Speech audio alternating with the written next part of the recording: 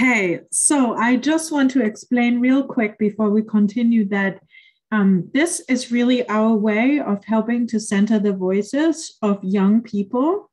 And this was a group of young activists who participated in a um, program that we will also hear about during this conference. So if you haven't signed up for it, you can definitely listen to the um, recording after the conference and then learn if there's anything more. But I am going to say, um, we're just going to switch around here a little bit. Um, I want to say I am delighted that Deborah DeBetta was able to join us. Um, welcome, Deborah. I just want to introduce you real quick before we jump in, and you can tell us how we can support these young, wonderful people that we just heard who are full of hope and um, energy as well as a drive to really change the world. And I think this is what we hopefully can support in their, you know, um, their ability to be resilient and creating environments that are conducive to that. So Deborah DeBetta is a certified mindfulness instructor who has taught mindfulness programs throughout Long Island for teachers, students, administrators, and parents.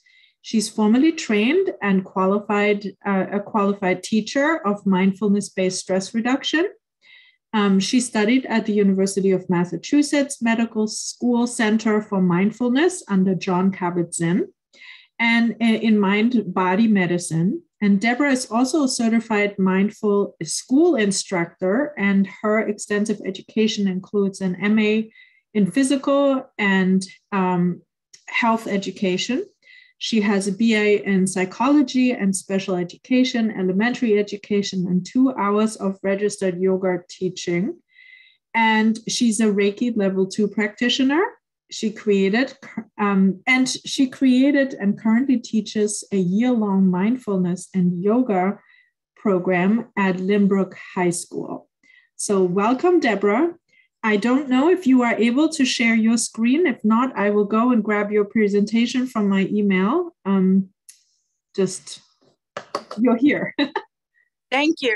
A lot of technical difficulties here at Lynbrook High School today. Is everyone able to hear me clearly? Okay, wonderful. I'm using my cell phone because, because our um, technology is actually down. So I'm using my own Wi-Fi and I usually have my headphones for my phone, but I don't have that available right now. So um, thank you for your patience. And yes, Julia, I'm gonna need your assistance with using um, the PowerPoint. Um, that'd be great. Um, so while you do that, um, thank you for the introduction. I'm really happy to be here and, and to share the importance of trauma and awareness and mindfulness and its role in education and how we can support students. And it's, I think it's a really integral part of, um, of the educational system, not even just for students, um, for teachers as well, educators or social workers or guidance counselors. And I'll explain a little bit more about that.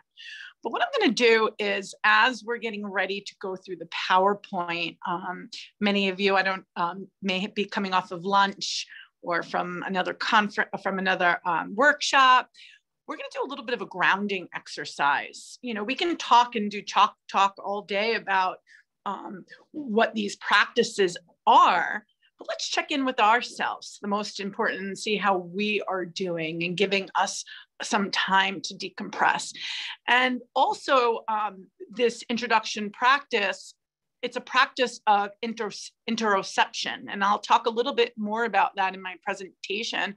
It's paying attention to ourselves and our bodies and, and, and taking time to see, hey, what is going on? And what does the skill or just bringing awareness, what does awareness do to our bodies just by simple act of paying attention. Now, as we go through this practice, there's no goals here. We're not trying to calm down.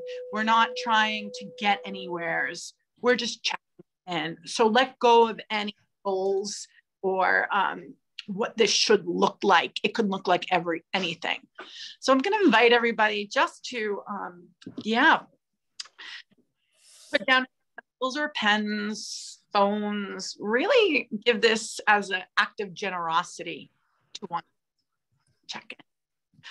So settling in and just coming into the body, coming into this moment, giving yourself permission to sort of just sit and be, not even to analyze what I'm saying, but to truly just to meet yourself where you are, whatever you may be holding.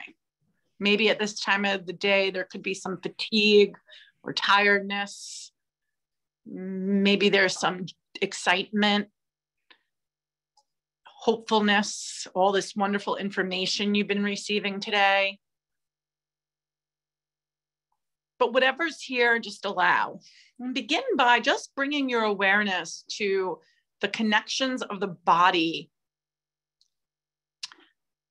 touching, grounding, or settling, whether it's your feet on the floor, your seat in the chair, your back feeling supported, just bringing awareness to places where your body is connected or points of connection and see if it's possible to just give yourself to permission to settle and land and sense into these touch points of the body.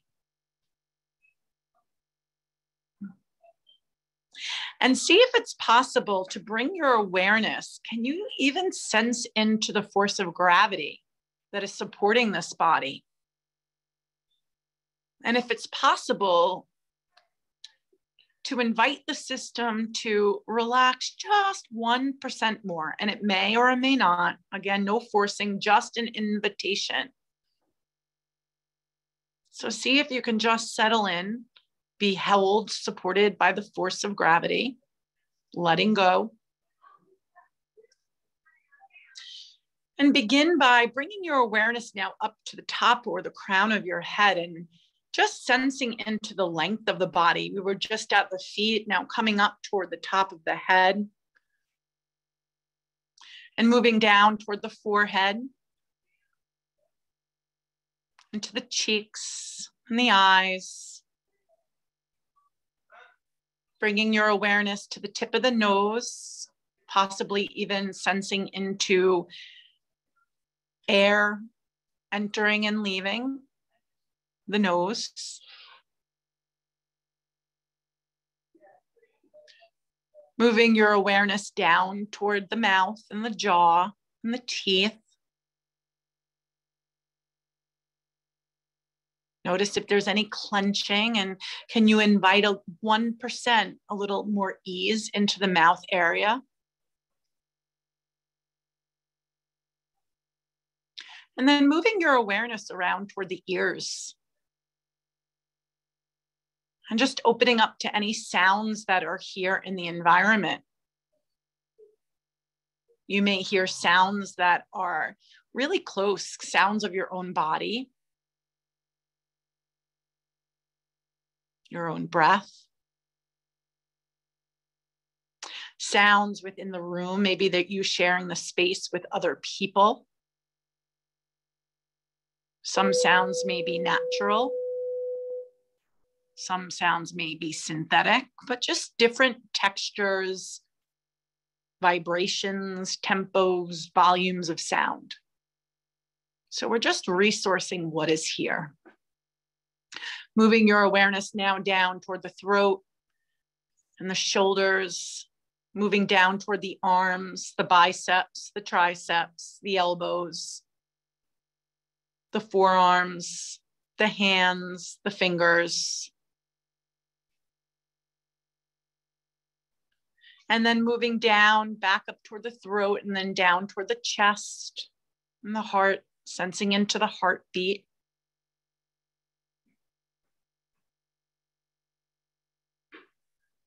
Moving down toward the belly, possibly there's sensations of fullness if you've just eaten lunch, or maybe hunger if that hasn't happened yet.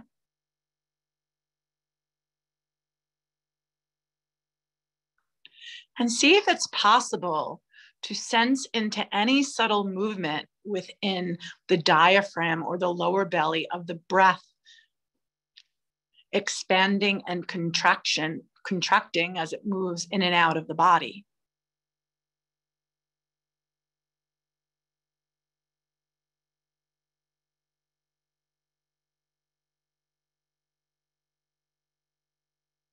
Shifting the awareness down toward the pelvis and back down toward the seat. Again, sensing in to the force of gravity being held, inviting your body to even relax and let go just a little bit more.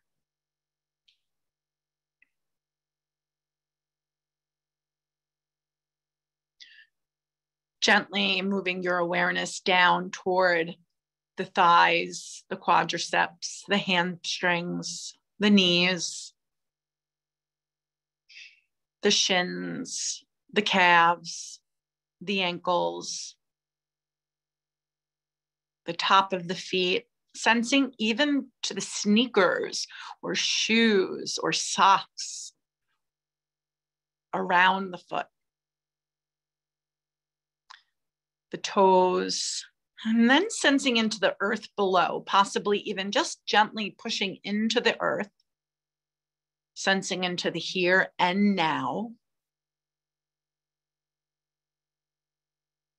And then taking that sense of here and now and the support and bringing that back up toward the back up into the body, traveling back up through the legs, the knees, the seat. And now coming to the spine and just tracing the, the spine from the sits bones all the way up to the top of the head and sensing into the length of the body from behind.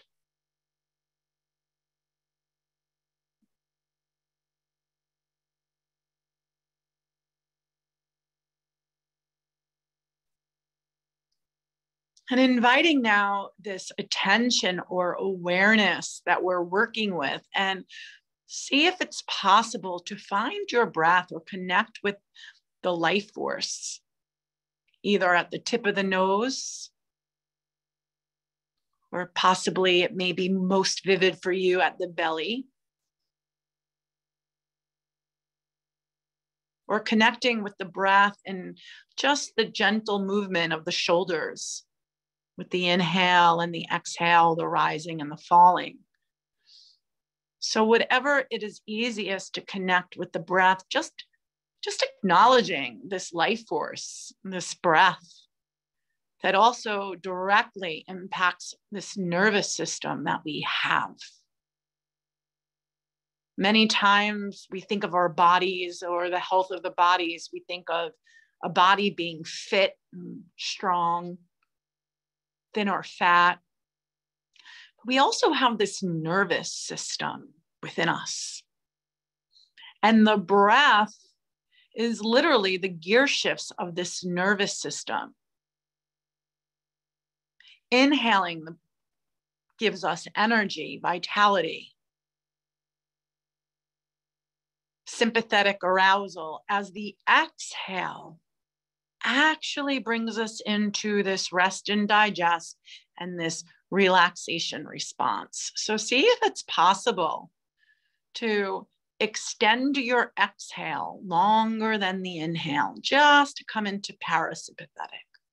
Come into a rest and digest, soothing and cooling the system, letting go of anything that does not serve, allowing that exhale to just I like to say, I think of an ocean tide. I live out on, on the water here in Long Island, and the exhale can be a cleansing breath, a letting go.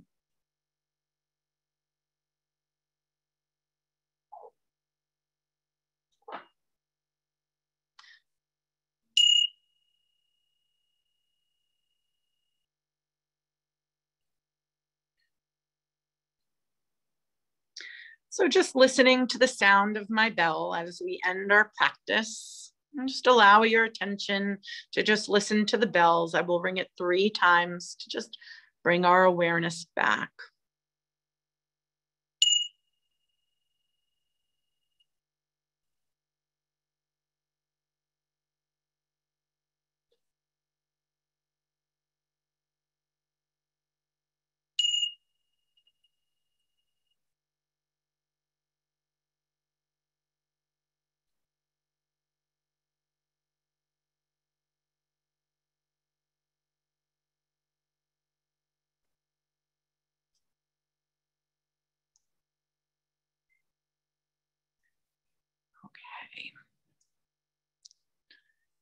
Just taking a moment here. Good to see everybody. I'm on a phone, so I can't see everybody's faces, but I'm scrolling through and I see a lot of names, a few faces. And I just want to possibly just ask the participants if anybody would be generous enough and throw your voice in. You know, how was that practice for you? What did you notice by just bringing awareness to ourselves in a generous way? anyone just would want to just unmute? You don't even need to raise your hand because I can't see anybody. If anybody feels inclined. This point of the day, it felt really good. And I like that you used the um, phrase inviting the intention attention because I haven't used that with students. And I feel like sometimes students react to saying, well, but I can't relax and I can't, you know, so I really liked that idea. Thank you. Okay, okay.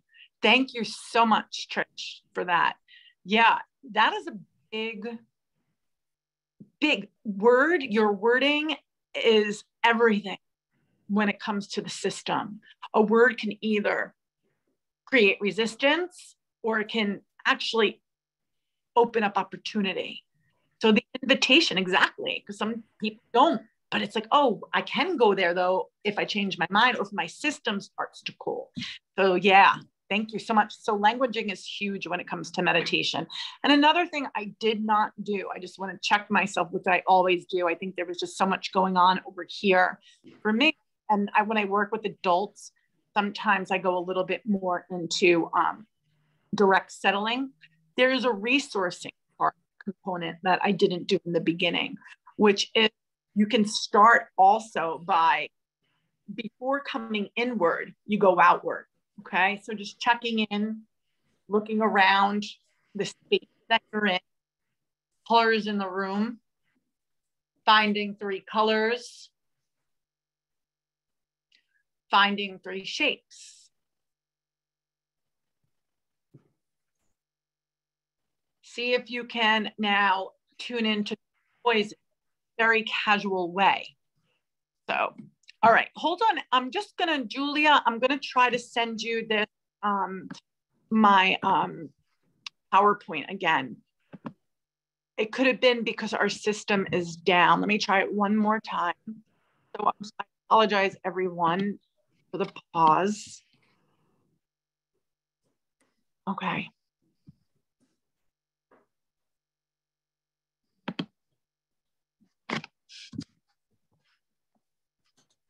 And I appreciate appreciate everybody's patience today. Thank you.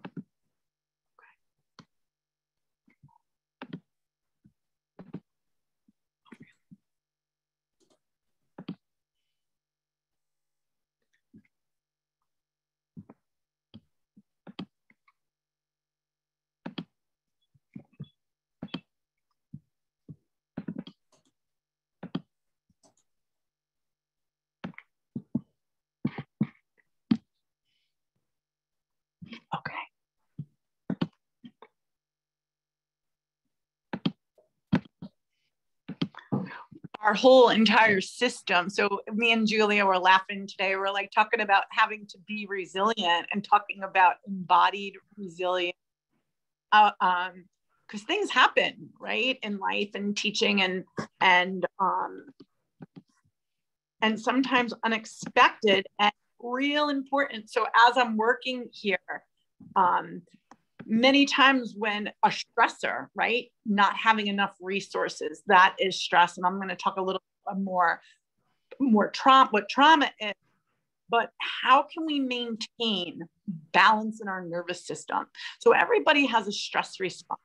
And a stress response is a physical reaction within the body, muscle tension, tightness, um, agitation, uh, sweat, heartbeat, so the interoceptive awareness practice, which we did, is checking in. And what happens when just our own kind of tension comes in?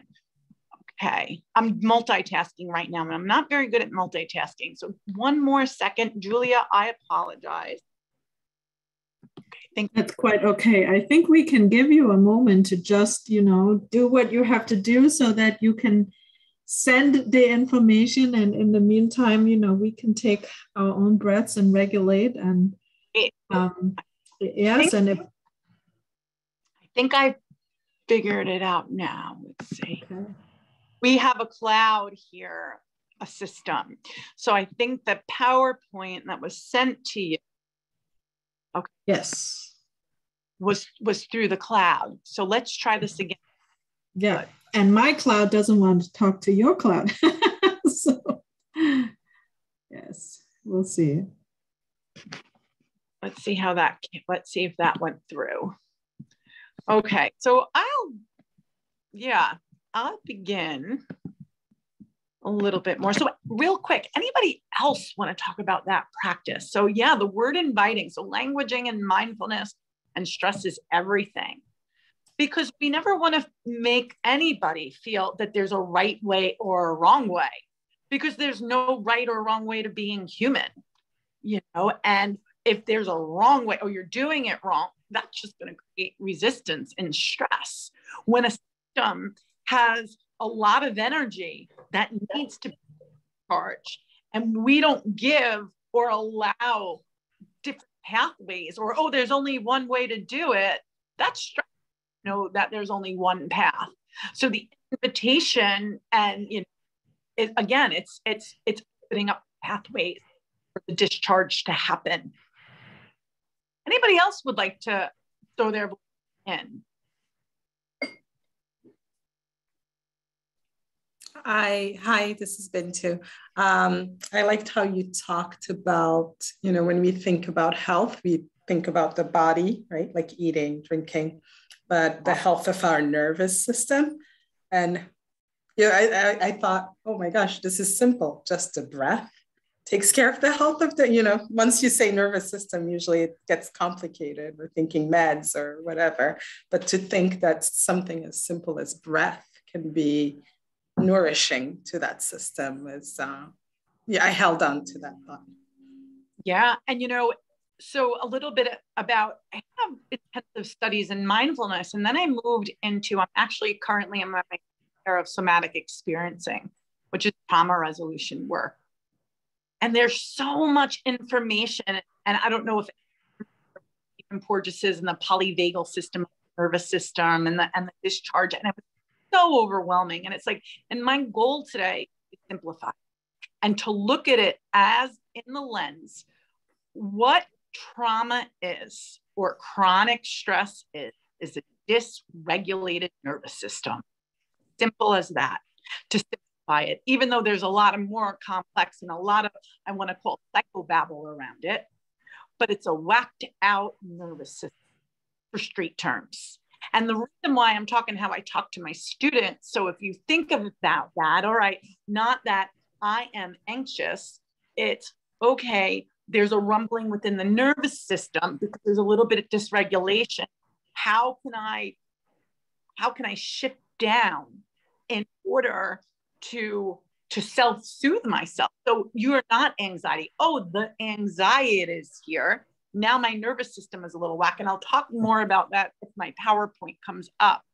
Um, Julia, how's that looking? No, I, no, it's not coming through. Try one more time. All right, I'm going to take one more pause, and I saw that relaxing. I'm glad this was relaxing. It is to take a breath. You know, it's a very simple concept. Jon Kabat mindfulness practice, right? The art of being present, the art of breathing. We just got to remember how to remember when to do right? Many times is threatened, ease up the breath because you know the system seizes because we're not sympathetic charge or that sympathetic arousal, whether it's acute to-do list of the day is, you know, is long, or if it's big traumatic stress. So the gear shift down the nervous system is the breath, specifically the exhale. So there's coherent breathing, which I will also do today with you. Um, there's a um, so many, there's so many different breath works um, models to use that um, help to discharge the energy. And I'll hopefully I'll go through some of those today. All right, Julia, here we go. One more time.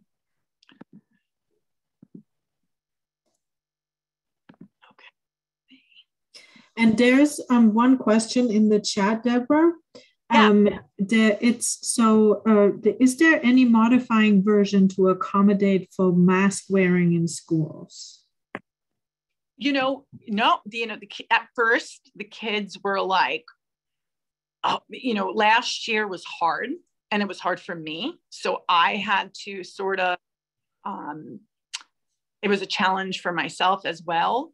But no, the only thing that I will do is, you know, um, talk about when we're fine.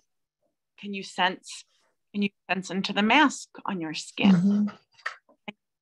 The temperature of your breath under the mask. So you're going to neutralize it. What is that like? You know, can you bring curiosity and not, oh, this is bad, this is good? What is it like to breathe with a mask on your face?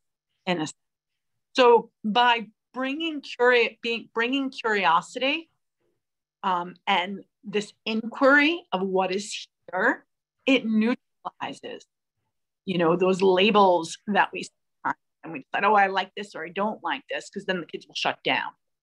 So with mask wearing, um, bring a sense of inquiry and curiosity. But everything else, it's been it's been okay. Okay, hold on. Julia.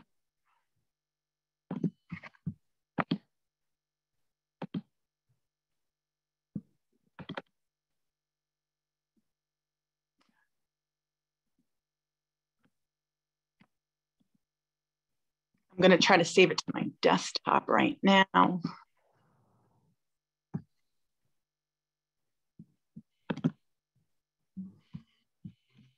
Yeah, if we were all in a room together, I would say, let's pull up a chair and have a conversation, you uh, know? Absolutely. Absolutely. So I do that. Let me try one more time. And if not, I'm not going to try anymore and I will continue. But as you're sitting here, you know, again, just breathing and and and the conscious breath breathing with awareness. And then again the manipulating of seeing if you can use the exhale longer than the inhale. Also the point of of just observing the breath. Each breath this is a really cool little piece of information. Each breath is unique and individual like a snowflake. There'll never be a breath like another breath. So I, again, that curiosity, this inhale like, what's this exhale like? And it helps also to focus. Okay, let me just send this email, Julia. I had to come out of the cloud. This is why so long. And again, our whole school, we're having tons of technical problems right now. Yeah, there was a storm somewhere or is a storm somewhere that is interrupting our communication. Oh, yeah. Okay, let's try this and hopefully this will go. It won't go.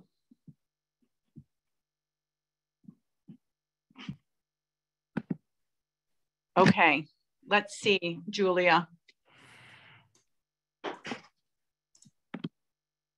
So I'll continue talking as we pull it up, just as if we didn't have it. So a little bit about what trauma is. So trauma, it's overwhelm of the nervous capacity to be able to discharge these state. So I have a little diagram here that you have, we have this, we have this rhythm parasympathetic, sympathetic, parasympathetic, sympathetic. So all day long, depending upon what's happening in our life. We're even rest or digest. We have this normal range because we do need um, a bit of activation in our life. If not, we wouldn't get things done, right? Everybody will be laying in bed watching Netflix all day. We need to pay bills. There has to be a little bit of, of charge in the system. Um, not there wouldn't be. So what happens in trauma is that when there is then the system gets stuck. There's never a discharge. So the example I want to use, if you ever watched the Discovery Channel, and if you ever saw an mm-hmm. animal who's about to be attacked. So you have an animal in the wilderness grazing, right? An, an antelope far. And as the antelope is they hear rustling in, in, out in the grass. Antelope freezes and then comes up and looks around and surveys and sourcing to see like, am I going to have to get out of here or not? Oh, we're here. All right. Okay. Was this where you were at? Yes, yes. The resilience zone. This is where we were. So the at so what happens is the um, this was the discharge. So um, this is what happens when the system is stuck and the, and it's not discharged. So back to I'm sorry, back to the uh, so say the antelope gets chased, the tiger comes, they run around like crazy. And if you ever see saw those videos, I wanted to bring one today, but I, it was it got deleted off of YouTube. That once the animal is taken down, it plays dead and the tiger either goes and then the antelope gets all of a sudden it's alive again and it runs away and it starts shaking itself off that is the discharge. Animals can naturally shake it off. In adults we get stuck. And or humans. I don't want to see adults it happens to children too. Okay so let's go on to the next slide. So trauma interrupt, interrupts our health. And it is not an event it is actually in the nervous system. So, Julia, you can hit the next slide. And what happens is with this, it interrupts this whole health of the system from our brains to our bodies to our immune system. In California, Dr. Nadine Burke, we're going to watch a little video. I don't know if we'll have time yet. And she in California, she is a pediatrician, um, phenomenal. She looked um, she decided to do um, a trauma inventory. It's mandatory in the California school system because they're seeing students who are impacted with trauma and are not treated is is something that long can impact their long-term health and well-being. So next slide. So events that disrupt the nervous system.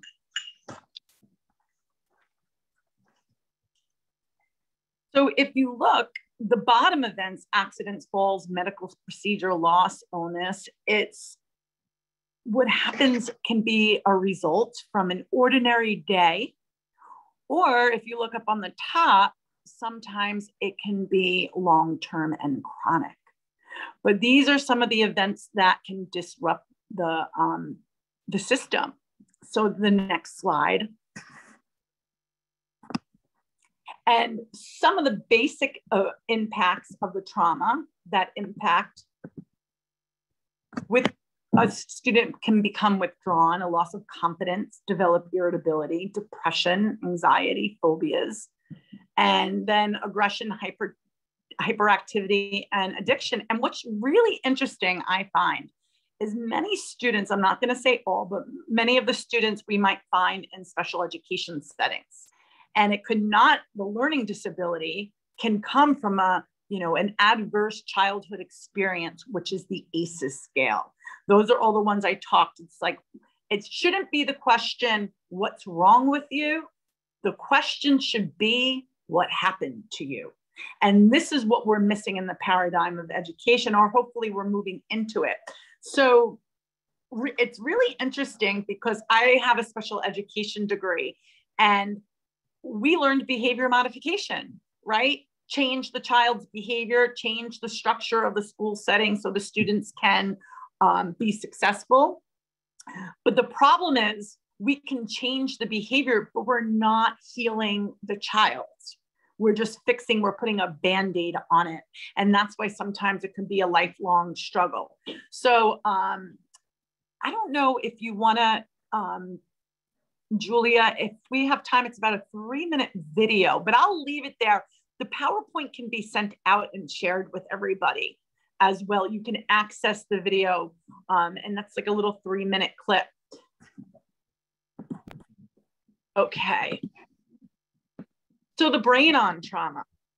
So it's very interesting because for mindfulness and meditation, the same areas are impacted as it is in trauma. So that's why mindfulness is a wonderful antidote in practice. And we'll talk more about that for um, any students who may be holding trauma or adults. So we have the three areas, the prefrontal cortex, which is for our emotional regulation, our decision making, and our impulse control. A student who has experienced trauma, you may notice it's hard for them to focus, pay attention, or they may be paying attention to the wrong thing. They're constantly in this free state or this high alert, like something's going to happen. The body keeps score. So the trauma is in the body, like like anticipating the next event, and it cannot be, I want to say, cognitively ration, um, cognitively rationalized.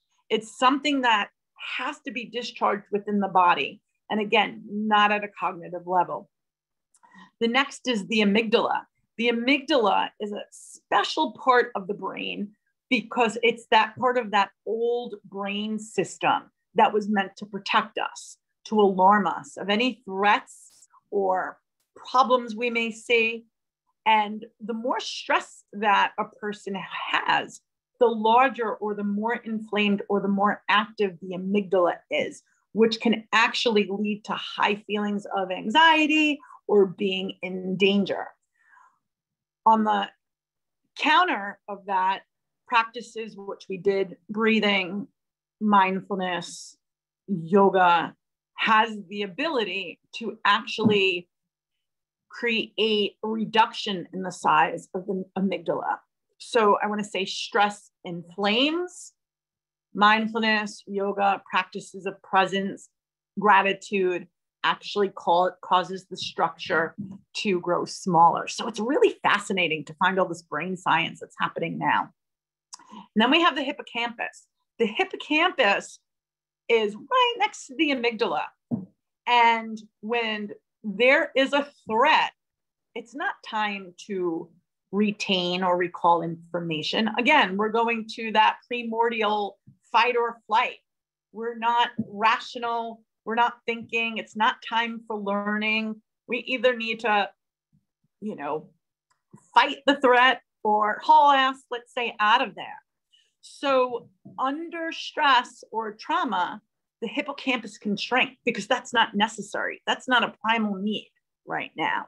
So, again, retention and recall is, is really difficult for students who have trauma. So, it's actually just, it's fascinating to find out that, again, trauma is not just an event, trauma is in the body and directly impacts the brain.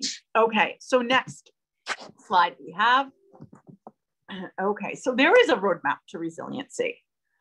So there's three things that educators can do.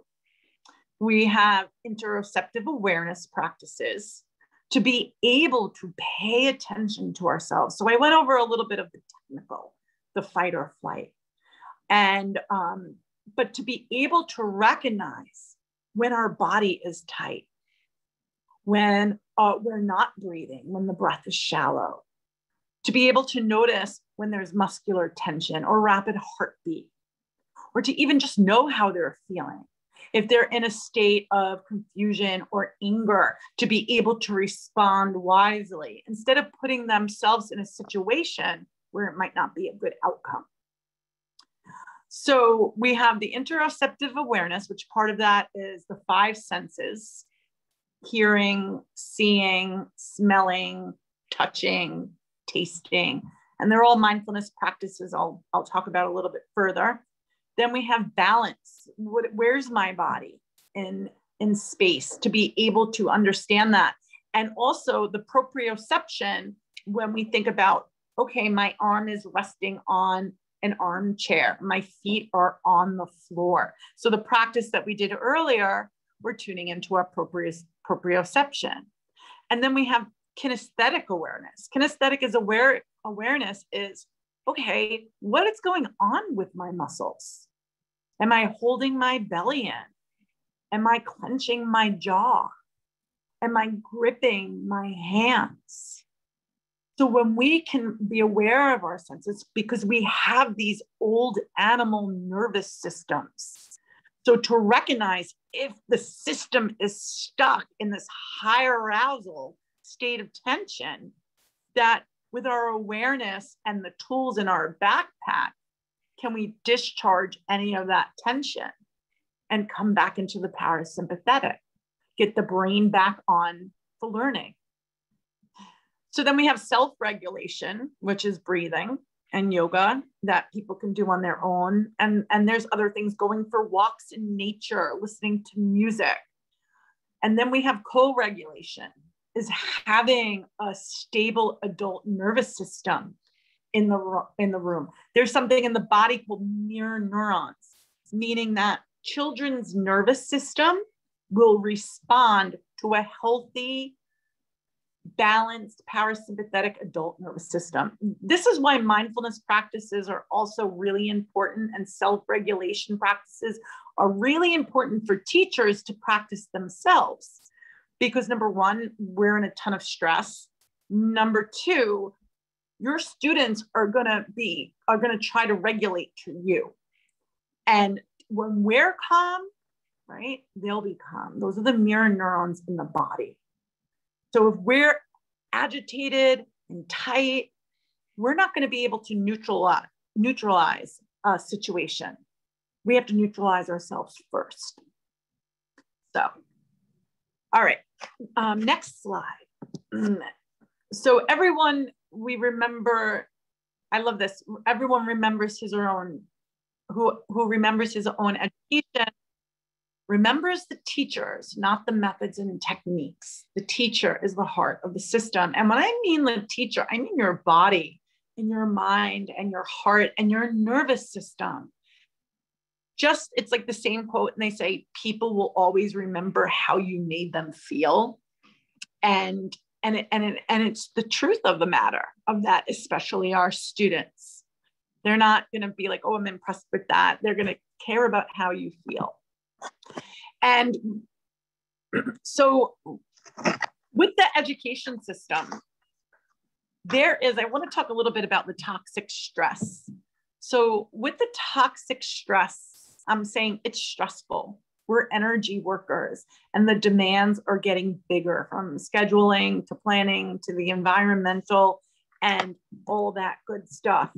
And then, if we move to educators and stress, you know, there is a burnout rate. So when I talk about the mirror neurons and about how we're supporting our students, it's important to support yourself as teachers, for administrators to support educators.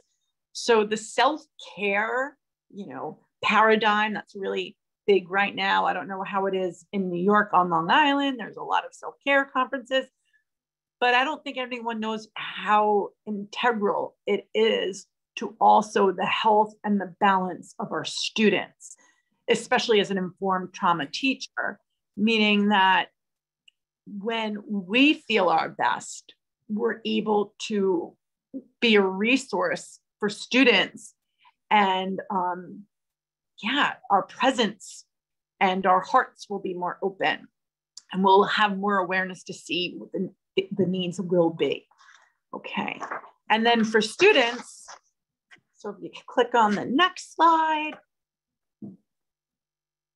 and then the next one. So for students, what does stress do?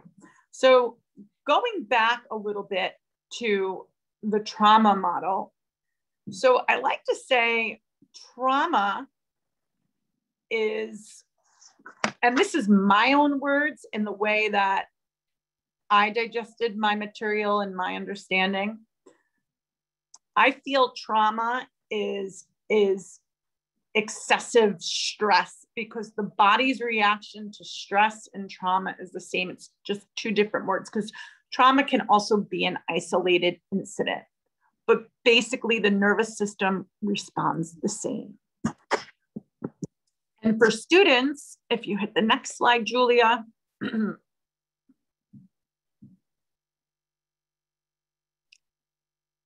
the stress, again, we went over the brain model, it impairs attention, emotions, all that good stuff. Um, and it's an ep epidemic in the United States.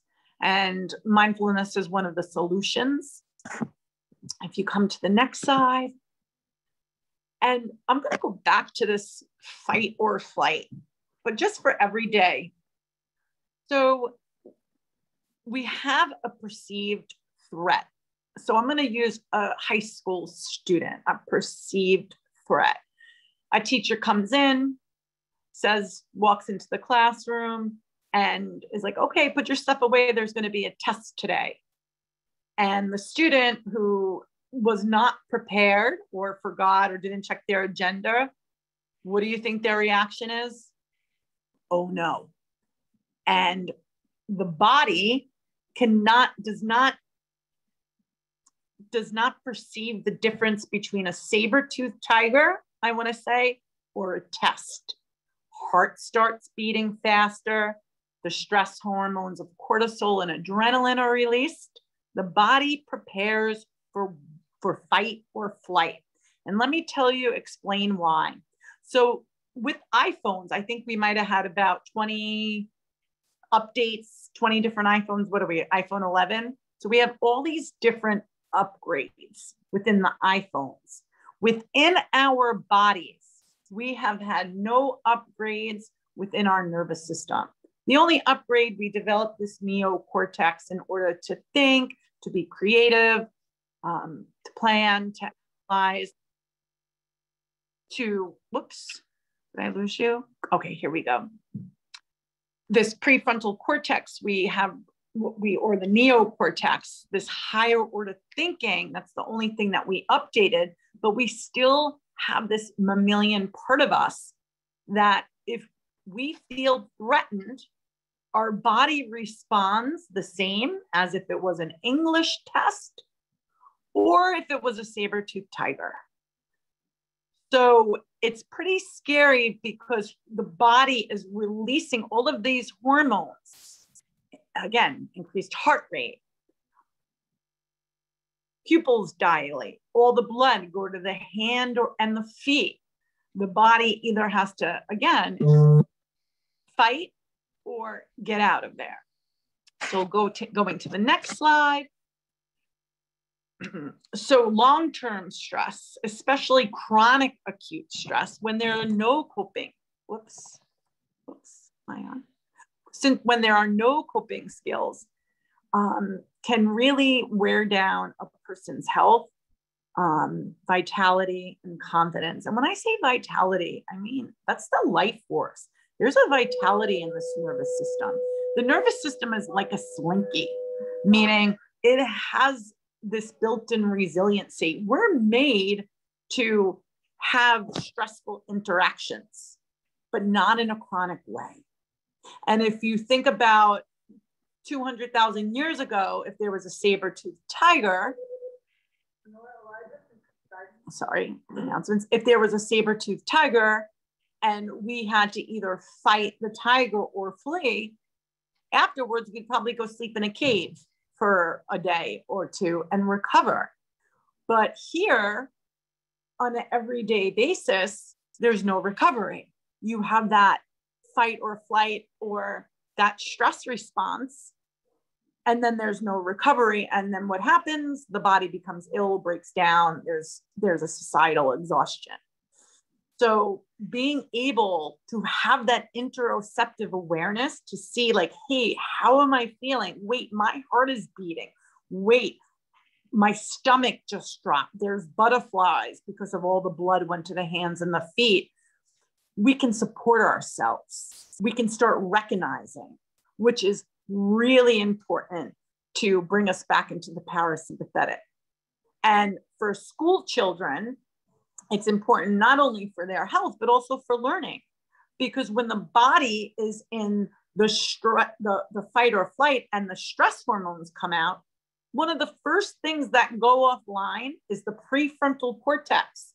And like we learned also that um, the, the prefrontal cortex and the hippocampus, which is responsible for that higher order thinking and that memory and recall, because that's not important right now. The importance is fighting for our life. Okay, so next slide. And here's that brain model again. And next slide. And again, I love this. The neuroscientists call it a cognitive dysfunction. And it inhibits all the storing information, paying attention, planning, motor skills, emotional regulation. So when I was talking to earlier about that proprioception and the body awareness where of things are, you ever notice, and this is a good way to inform you as a teacher, especially if you're in elementary school, sometimes disorganization, or most of the time, or clumsiness um, can be a sign of, you know, toxic stress or even trauma, the body holding trauma, because there is there's no way that we know. There are no tests right now to tell. There are no programs, no inventories except the ACEs, like I, I spoke about earlier, to know what children may be holding in their body. And not only trauma that they may hold from this lifetime, studies are now seeing in the field of epigenetics that we actually have generational trauma and stress that can be passed on from generation to generation. So this stress is universal, right? I love this. You can't stop the waves, but you can learn to surf. Julia, you can keep on going. So the stress also inhibits our perception. I talked a little bit with the focus. I'm not going to do this. We're not going to have time. Let's move on. So again, the practice of paying attention to something grounding in the present moment. Again, stress and trauma. We want to focus on the wrong thing because we're feeling threatening. So grounding techniques, using the body, uses the, using the senses, we'll do some more, is a really important thing to do to tune attention. You know, as teachers or educators, or, or even if you're even if you're talking with a client or whoever you may be, giving a moment to allow whoever you may be interacting with to land, to focus, to feel, to know where they are instead of going right here come to the body first. Okay, we're going to continue. Um, and I love this quote. And mindfulness is a way that we, yes, you can have access to this PowerPoint, absolutely. So mindfulness can help you see more clearly. Clearly, so the mindfulness practice develops this interoceptive awareness. It's the formal practice, it's the exercise. How do we get this interoceptive awareness to see when we're in fight or flight, or to notice are we in our heads or are we in our bodies in the moment? So, mindfulness is one of the practices that help us to respond wisely. So, I'm going to go on to the next slide. And the basic definitions I have paying attention on purpose in the present moment, non judgmentally. That's the biggest part of the whole entire definition. You can't leave out the non judgmental, right? We was spoken who, um, the lovely person who made a comment about the language I used of inviting students. It's that non judgmental part, right? notice it in inviting yourself to relax. So it's not like not saying relaxing, because if we say relax and you can't relax, then the next thing you know, the kid will start being like, I can't relax. What's wrong with me? Why am I not doing right? And we start judging. So again, there's qualities to inviting students into the mindfulness practice. Um, so interoception awareness, it is our sixth sense and many times as adults, we don't even take the time to check in with ourselves, you know, and just awareness itself is a is a self-regulation. It's really interesting. A lot of times when you sit and when I do these programs and I say, notice if your shoulders can fall away a little bit more t- toward the earth. See if it's possible to relax your belly. Notice if you're breathing. Notice if your jaw is clenched. Again, these simple, tiny nuances within the body can really change and bring the system back into the parasympathetic. So this is these skills for elementary school. Simon says is a great skill to have for interoception awareness. You know, um, but a curiosity and making it fun and normal. We don't talk about this enough. No one talks about, you know, are you sucking your belly and can you relax your belly? Notice your heart. Can you put your hand on your heart? Do you know that you have the most sensory neurons in your fingertips in your hands and when you put them to your heart it actually can soothe the system in less than a minute so there's a reason why when we see people who put their hands on their heart to calm down or when they feel overwhelmed what's the meaning behind that I think that's just really cool. So, all these little tools to have in their toolbox and to have in your toolbox as well. So your body is always present. The present moment is the most honest, meaning that if we, when we're in our in our minds or attentions in thinking, and usually we're thinking about what's going to happen in the future or what was wrong in the past to go back and there's two places what causes anxiety and stress and worry. And in the future, when our when our thoughts are in the future, most times, nine out of 10 times, we're thinking what needs to be fixed, what do we need to prepare for in order to be safe and to protect us. That's the amygdala working. But our body is a place to always be like, what's happening now? Especially on days when there's overwhelm in the system, come back. Where, what's happening now? How can I regulate my system? Because when we take care of the present moment, the next moment takes care of, our, of itself. And if your brain is not online, that higher order thinking and that problem solving and the creativity is not going to appear. So the body is always um, an important part of who we are. Okay, so let's try it. So let's do a little bit of a weather report. I love this. I do this with my students every time they come in. And it also validates their feelings and why they're feeling. And, and it's not about normalizing being happy all the time. When there's also a share, it's wonderful because a lot of, I want to say, the support comes to know, like, oh, other people feel that way too. So let's just pause. We're going to, we'll pause for a minute and keep your eyes open or closed, whatever is most comfortable for you.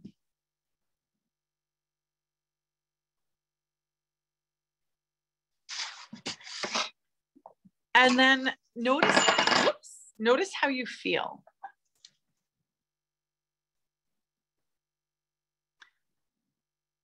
And there might be one emotion, there could be more than one. I say sometimes a fusion. And I love this. How do you know that you know how you feel? What's informing you in your body, that you feel a particular way. What's informing you? Okay. So I have on the next slide, I'm missing some of my words there. That's so weird. Hold on, pull my other words. Give me one second. I want to, my slide didn't finish. Okay. All right. So here's just some of the words shaky, tingly, warm, calm, buzzy, hot, chilled. Jumpy, sweaty, strong, spacious. I'm going to add some more. Um, I, I have them. I don't know why it's not on this PowerPoint, but I will fix it and I'll resend Julia so you can send out the PowerPoint and yes, you can have it. So being able to understand your body, your muscles, your breath, your gut, your heart, your head. So it could be like, how's the breath today? This is what I do with the kids. So I'll sit down with you. So just bring your awareness to your breath. Very casual. The eyes don't have to be closed all the time to do this. It could be a casual conversation. See if you can just observe your breath and the pathway of your breath. Is it fast? Is it slow? Is it choppy? Is it smooth? Is the pathway really wide or narrow?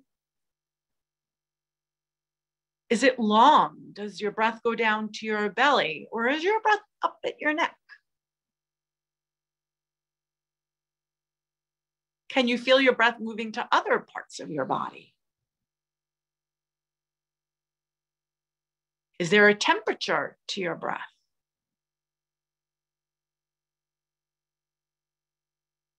Is there a speed to your breath?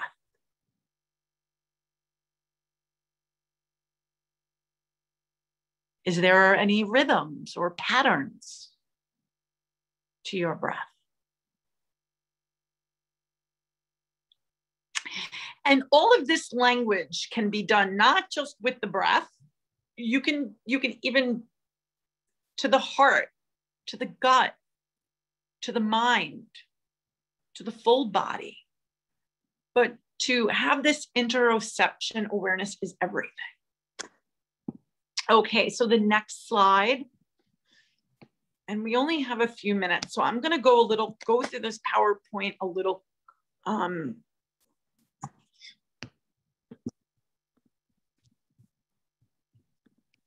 a little quicker than normal. So the breath, and I talked about how the breath impacts the system. So in the slide before, I left, it's Dr. Richard, I want, yeah, on the slide before, I want to say Dr. Richard Miller, and I'm getting, my slides going. Um, he, I have the YouTube link below. He is a Columbia University doctor, professor, and cre created coherent breathing and different i was talking about the the different the holding and the counts. You may anybody who practices yoga and pranayama sometimes there are different breath counts to get different activations within the system. Sometimes you need to bring energy into the system. Sometimes energy needs to be discharged out. So um, coherent breathing is a great way to go to um, rest and digest. The YouTube video is there. There's four other videos that you'll be able to um, access that are wonderful. My high school students love it. They're about five ten minutes each. So you'll, you'll be able to have that. Um, next slide.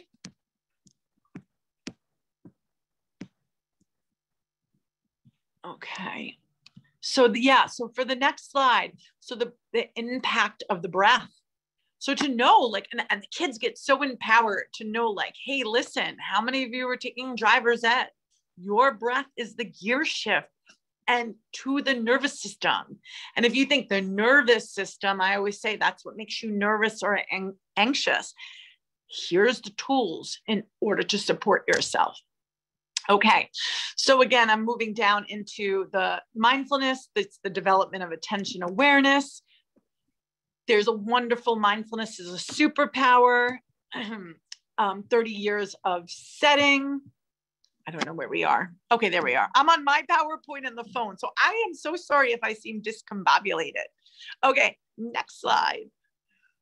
Okay, a little bit about more mindfulness. This is a basic stuff you can keep going, Julia. The benefits of mindfulness practice, you can read that mindfulness in, in education. And again, because it's bringing that prefrontal cortex back online, it's cooling down that amygdala in order to respond wisely, increase awareness, and and again, reducing stress. And here's our elements of emotional well being.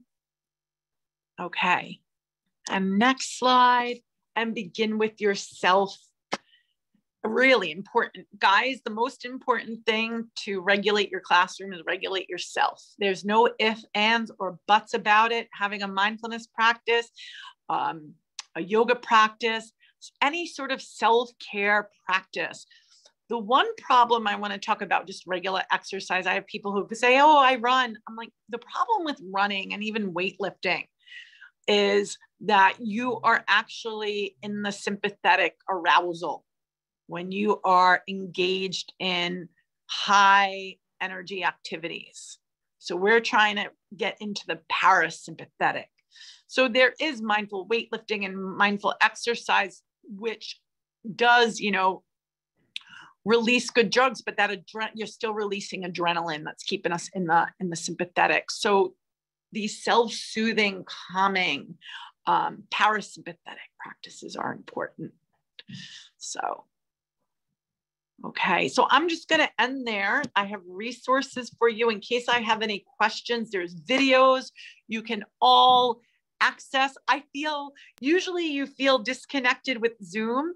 I feel a little bit more disconnected. So I so apologize if I seemed a little distant or scattered, that was just, that was in the room with me today. So I thank everybody for their um, attention and awareness. If you have any questions, um, you can contact me anytime. I, I love being a resource and and I will also be doing a day-long retreat for teachers on Long Island. I don't know if there's anybody here from Long Island at um, an art museum in January. You can email. So I'm thank you everyone for the wonderful comments and your patience.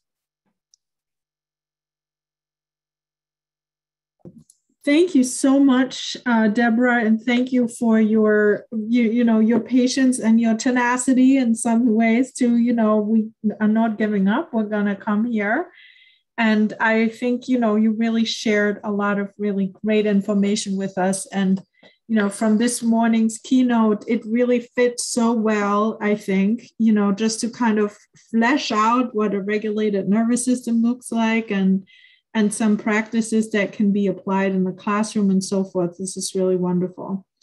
So um, to everyone, thank you also for hanging in there with us. I am putting uh, for the second time a um, um, survey about the program. Uh, we would love to have your feedback. You will all receive the recording of this um, in the next couple of days, along with the slides and um, all those great links that are in there as well as with um, the recordings of all the other sessions that took place as well. If, if you are looking to get CTLEs, um, please use the link that was emailed to you. Um, and just to make sure um, that you have that. And otherwise, I would say let's open the floor for just a few more moments to see if anyone has questions for Deborah.